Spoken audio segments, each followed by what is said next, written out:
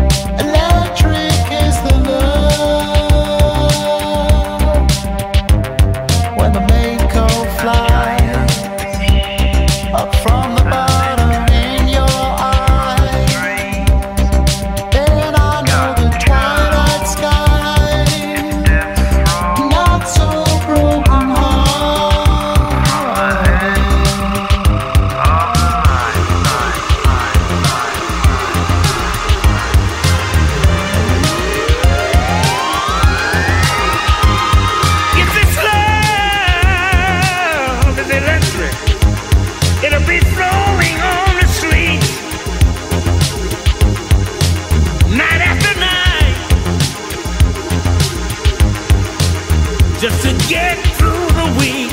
Yes,